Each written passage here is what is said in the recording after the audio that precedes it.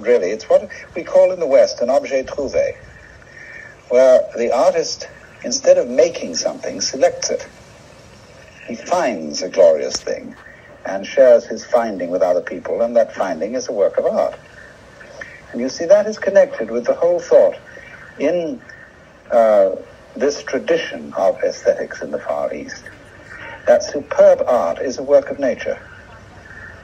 It's not something uh, imposed upon nature.